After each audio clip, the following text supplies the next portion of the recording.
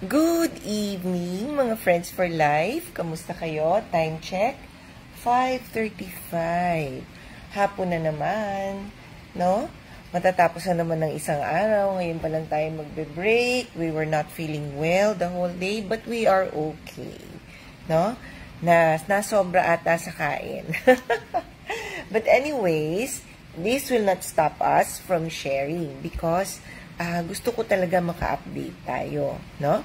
So, halika na, let's read. Ay, nakapili, napili ko itong sticker na to, no, from my phone kasi uh, mga friends for life, matatapos na ang November. Although nagka-catch up pa tayo ng ating reading, kayo po ba ay nakaisip na ng mga ipangre-regalo sa darating na Pasko? So, mga friends for life, hindi kailangang mahal ang mga regalo na yan dahil ang importante, naalala nyo sila. And I hope na ang mga gifts ninyo, pag-iisipang mabuti para yung mga gifts na yan, yung talagang nagagamit, nakakatulong tayo sa kanila, nakakatulong tayo sa uh, sa mga sa environment natin especially, no? At uh, makapagpapalago sa kanilang personality. Something na they will cherish, something that they will use every day And then, so, kapag naaalala nila yon dahil ginagamit nila everyday, naalala rin nila kayo. And I hope, uh, yung mga gifts na yan ay magiging instrument para, para sa ating lahat, no? That every time we remember the people who gifted us, we remember them uh, in our prayer. Na, na magkaroon pa ng mas marami pang mga tao na tumutulong sa kanyang kapwa-tao. O, di ba? Yan ang isang bagay na napakahalaga sa mga Pilipino. Kasi lalo na ngayon, no, December na, ang Pasko natin eh talagang mahaba. Ngayon pa lang, I'm sure, ang mga tao, tayong lahat, nag, nag, nag-iisip na, ano kayang magandang irigalo sa Pasko? Di po ba? Ano kayang maganda? Now, ako naman, magbabasa muna tayo ngayon pagkatapos medyo magpapahinga tayo kasi alam niyo mga friends for life, kahit po ang doktor ay uh, sumasama rin ng pakiramdam. Ang kaso nyo, pag ito, ikinonsulta ko sa mga kaklase ko, tatawanan ako ng mga yon. Sasabihin nila, Ellie, ano ba? Alam mo na yan. Ang hirap ding maging pasyente, no? Kapag ikaw yung doktor. Mas madaling maging pasyente, actually, no? Kaysa maging doktor sa sarili mo, no? At uh, pag naman uh, nagkonsulta ka sa mga kaibigan mo. And I'm sure na nako na dyan yung mga kaibigan ko manonood nito. Tinatawanan ako ng mga yan. Sabihin eh kasi bakit ka kumain ng alas 3 ng madaling araw? No hindi mo pa natutunaw yung dinner mo eh. Ba't ka kumain ng 3 o'clock in the morning? Yan tuloy. Pagkakain namin ni Patrick ha hindi na kami makinali. Nanonood kami ng Netflix nandiyan babaong kami um, we will try to sleep and then, ah, Diyos ko, it's exhausting. So, mga friends for life, don't eat, no? Kapag hindi oras ng pagkain. anyway, November 25, the power of praise. Wow, the power of praise. Talagang powerful yung praise na yan eh. Yung mga tao na bati ng bati, praise ng praise, sa totoo lang, like kung naaalala. So, yan may gift kayo sa akin sa Pasko. the power of praise, like apples of gold in settings of silver, is a word spoken in right circumstances. Proverbs 25:11. May mga tao talaga, ang sarap-sarap. Pag ikaw ba pinuri ng tao na yun eh, kinikilig ka sa tuwa. No? Ako, meron akong mga uh, uh, instances na kinikilig talaga ako pag pinupuri ako ng mga tao na uh, alam kong yung yung real, alam mo yon at saka yung yung alam mo na you you did something na you did your best and that um, it was a surprise that it was noticed, 'di ba? Nakakakilig mapuri. So do not be uh, matipid sa pagpupuri sa kapwa natin kasi yung praising Naku, baka yan na ang remedy sa kanilang mga na, nararamdamang lungkot, nararamdaman na uh, kailangan nila ng ng maramdaman ng importante sila, relevant sila, may ambag sila, you know. Hindi naman masamang pumuri eh. uh, let us be generous with our words so that nai-inspire natin yung mga ibang tao. No? Looking at the things that they can contribute, no? Yun namang mga kulang, uh, okay pa rin, encourage them because meron at merong maaambag ang tao yan sa buhay mo, sa organization mo, sa, sa, sa, you know, sa kasayahan mo, meron at merong maaambag ang tao yan.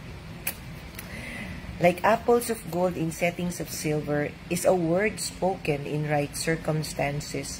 Proverbs 25:11. Do you praise God only when things are going well? Hmm. Many of us make this mistake. We must learn to worship and thank Him during bad times as well. We will never know the true power of our praise until we learn its value in our trials. For example, praise focuses your attention on the Lord rather than on the challenge. Next, reminds you of God's perfect sovereignty and love. Praise. Praise prepares the way for the Father to release His awesome power in your life. Praise allows you to recognize the good ways the Lord is working in your situation. Praise magnifies the presence of God and the fact that you're not alone. Praise. Gives a powerful witness to the lost by exalting the name of the Lord. Praise. Fills your heart with joy and strengthen and strength of the Lord. Praise. My friend for life, ang daming indulgensya pag we are praising God. No? So, my friend for life, tayo po ba pag nagdadasal tayo, we start our prayer with praising the Lord? No? And sometimes, pag paulit-ulit na yung mga dasal natin, why not put all the time just praising Him? Alam mo, ngayon, ang ganda ng paglubog ng araw. Oh, ang ganda. Praise you, Lord. Thank you sa paggawa mo ng araw na ito na lumulubog sa tamang oras upang magbigay ng liwanag ang buwan. Marunong siyang magbigay, no? Marunong siyang mag-step back. At, at, at, you know, uh, sumisikat sa oras na kailangan ng sumikat araw-araw.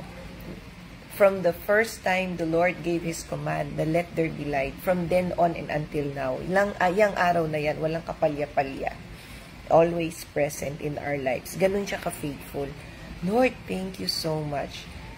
That sunrise and sunset alone is a testimony and manifestation of your faithfulness your faithfulness to love us, no? And give us energy and strength and hope, no? And warmth.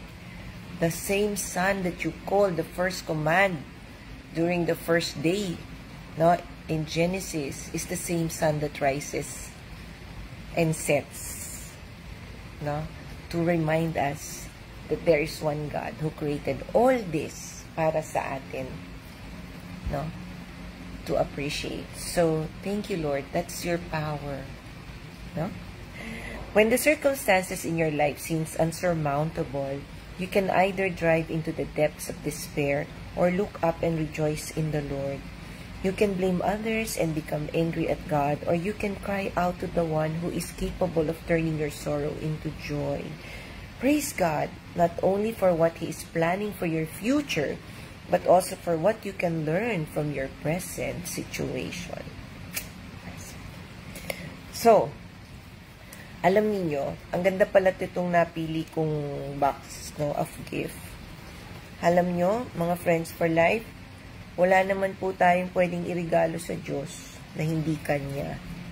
Lahat ng meron tayo, lahat ng time, lahat ng talent natin, lahat ng treasure natin, kung ano man yung narating natin sa buhay natin, no? Lahat ng kayamanan nakikita natin, lahat ng kaligayahan nakikita natin, no? Lahat 'yan galing sa Diyos.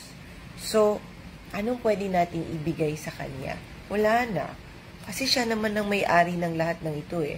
Pwede mo ba siyang alayan o regaluhan ng ng isang bulaklak o mga bulaklak?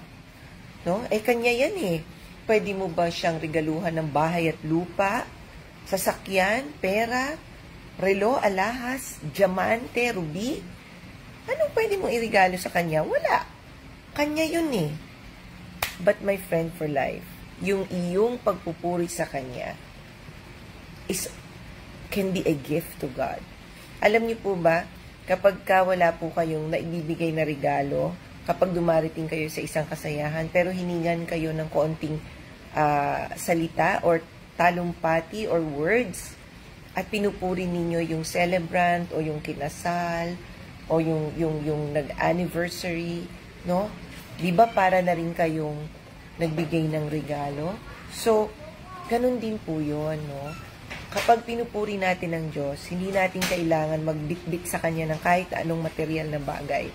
That praise alone is a gift from us to God that no one can compare because no one can do those praises except you coming from the bottom of your heart.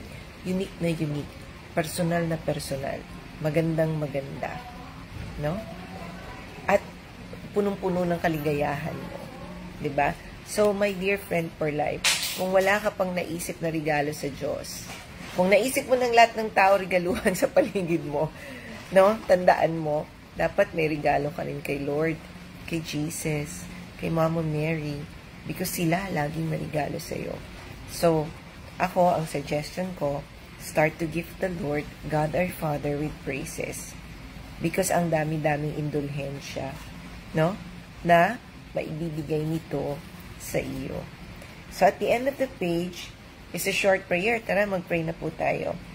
Father, I do indeed praise you. Nothing I desire compares with you, and nothing I will ever face will confound you. Thank you for loving and protecting me. Amen. In the name of the Father, and of the Son, and of the Holy Spirit. Amen. Ang ganda ng reading, no? At uh, maya-maya, magbabasa ako ulit nang sa ganon, makakatch up na talaga tayo. Malapit na malapit na nating matapos ang librong ito ni Charles Stanley. At meron na akong uh, napili na libro na sabay-sabay nating sisimulang babasahin sa unang araw ng taon. So stay with me and make it a habit. Let's always come together in some break, break, fruitful time, or fruitful break time. That's it mga friends for life. Take care. Always remember your natural MD loves you. Bye. Good night. I love you all. See you again later.